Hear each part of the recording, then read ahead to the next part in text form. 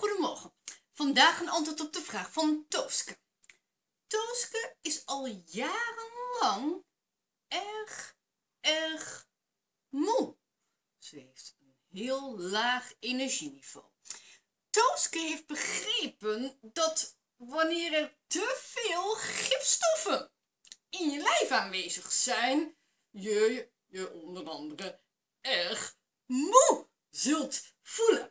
En dat is aan de orde wanneer het ontgiften van gifstoffen, dat is de taak van de lever, ehm, wanneer dat niet goed verloopt. Dan kunnen gifstoffen te lang in jouw lijf verblijven ten koste van je energieniveau. Um, nu is het zo dat Tooske niet iemand is die uh, alcoholische dranken drinkt bekend staat als uh, uh, ja, een goedje wat je lichaam als toxische stof, gifstof ervaart. Dus vermoedt Tooske niet dat ja, een te hoog gehalte aan gifstoffen in haar lijf uh, de oorzaak is van haar chronische moeheid. Althans, dat vermoedde ze niet, want Um, Toosk heeft begrepen dat je helemaal niet uh, regelmatig um, uh, alcoholische dranken hoeft te drinken om een te hoog gehalte aan gifstoffen in je lijf te verkrijgen. Omdat uh, gedurende de stofwisseling in je lijf, wat elke dag en heel de dag door al vanaf je geboorte plaatsvindt, hè, ook gifstoffen cytotoxische stoffen. Stoffen die um, nogal belastend schadelijk zijn voor je lijf. Um, gevormd worden. En dat ook die, die gifstoffen die ontstaan gewoon gedurende de stofwisseling in je lijf. Iets wat dagelijks al vanaf je geboorte plaatsvindt. Ook die ontgift moeten worden in en door dat ontgiftingsorgaan de lever. En wanneer dat niet goed verloopt, ja, dat het gehalte aan gifstoffen in je lijf alsnog te hoog kan worden met uh, vermoeidheid uh, tot gevolg. Dus sinds, um, sinds Tooske dit heeft begrepen, vermoedt ze dat misschien het ontgiften van gifstoffen uh, in haar lijf door haar lever niet goed verloopt. Want ze is dus al jarenlang erg erg moe. Dus is de vraag van Tooske, aangezien een te hoog gehalte aan gifstoffen in het lijf uh, vermoeidheidsklachten met zich meebrengt, of ze ook invloed uit kan oefenen op het ontgiften van gifstoffen. Iets wat de taak is van de lever. Dat is de vraag van Tooske. Nou, Tooske. Alle cellen in je dus ook je levercellen. Dat is waar het ontgiften van gifstoffen. En ja, er worden dus ook dagelijks gifstoffen gevonden. Gewoon in en door je lijf. Gedurende de stofwisseling in je lijf. Um, um, um, die moeten ontgift worden. In en door de lever in de cellen al daar. Nou, en levercellen hebben net als alle andere cellen in je lijf uh, meerdere processen die ze uit kunnen en ook moeten voeren. Het ontgiften van gifstoffen is een proces uh, die uh, de levercellen tot taak hebben, maar er zijn nog vele processen meer die levercellen tot taak hebben. En dat wil dus niet zeggen dat al die processen, want de lever heeft heel veel taken, allemaal goed verlopen. Dus we gaan het hebben over dat wat jij wil weten. Um, het ontgiften van gifstoffen in en door je levercellen. Cellen die nog vele andere functies hebben. Nou, je levercellen hebben net als alle andere cellen in je lijf twee soorten processen die ze uit moeten voeren en kunnen voeren, maar niet altijd uit kunnen voeren. Katabole, afbrekende processen en ook anabolen, opbouwende en herstellende processen.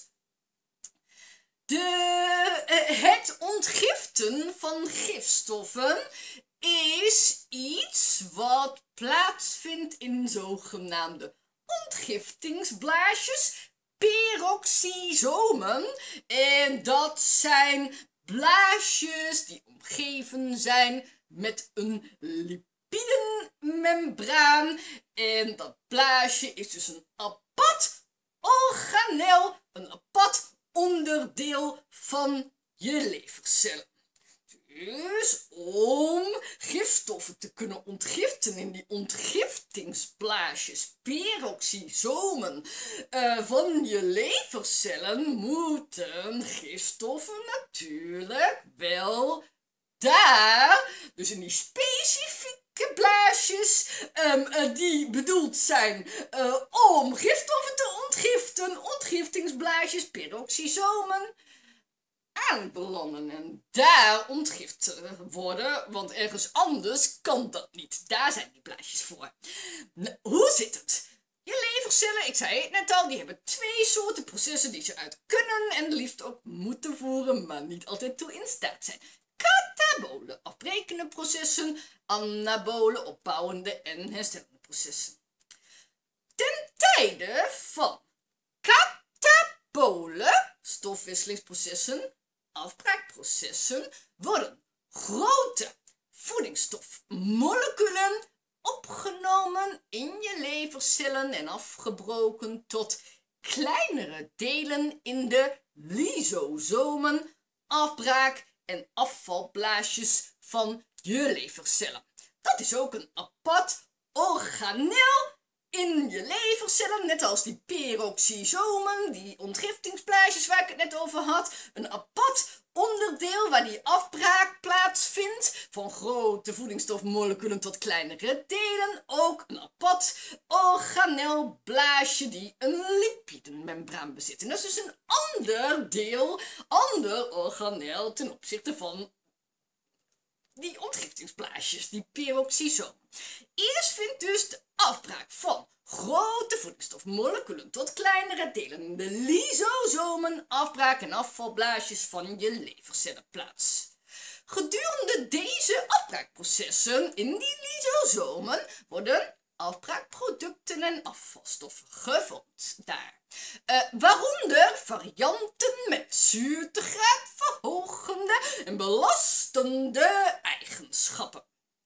Deze afbraakproducten en afvalstoffen met zuurtegraad verhogende belastende eigenschappen die na afbraakprocessen uh, uh, in de lysosomen van je levercellen gevormd zijn, um, uh, moeten eerst verdund, geneutraliseerd en uitgescheiden worden naar andere delen buiten je levercellen of in je levercellen, zoals die peroxisomen, hè, dat zijn andere delen, met behulp van ionenpompen. Dat zijn membraan-eiwitten die het actief uitscheiden van geneutraliseerde afbraakproducten en afvalstoffen mogelijk maken.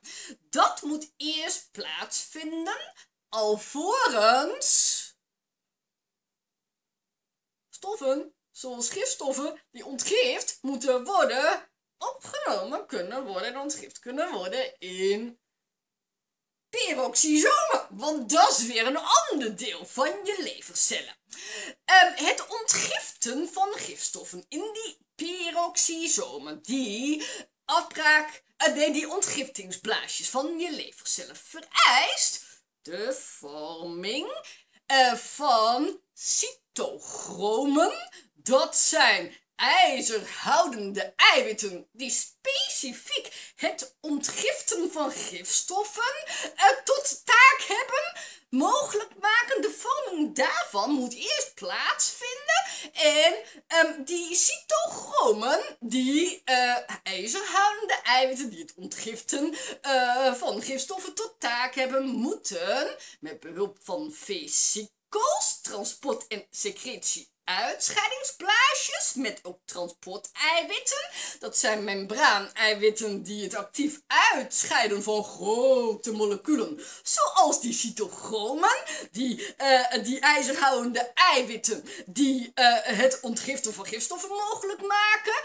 Um, um, uh, mogelijk maken. Dat moet eerst plaatsvinden nadat hè, die, die verdunning, neutralisatie en uitscheiding van afbraakproducten en afvalstoffen uit die lysosomen met behulp van de ionenpomp heeft plaatsgevonden, alvorens gifstoffen in de peroxisomen van je levercellen met behulp van die cytochromen ontgift kunnen worden. En pas wanneer dat heeft plaatsgevonden, is de afbraak van grote voedingsstofmoleculen tot kleinere delen in de lysosomen van je levercellen. Daarna de verdunning, neutralisatie en uitscheiding van afbraakproducten en afvalstoffen met zuurtegraad verhogende belastende eigenschappen met behulp van ionenpompen. Dan ook de vorming van die cytochromen, die ijzerhoudende eiwitten die het ontgiften van gifstoffen voor rekening uh, nemen. En het uitscheiden daarvan met behulp van vesicels en transporteiwitten actief richting die, uh, die peroxisomen, die uh. En dan pas kunnen gifstoffen in de peroxisomen, ontgiftingsblaasjes van je levercellen met behulp van die cytochromen, die ijzerhoudende eiwitten die dat ontgiften mogelijk maken, ontgift worden. Daar moet dus heel wat eerst voor plaatsvinden, hè? Alleen, jouw levercellen zijn daar niet altijd toe in staat, want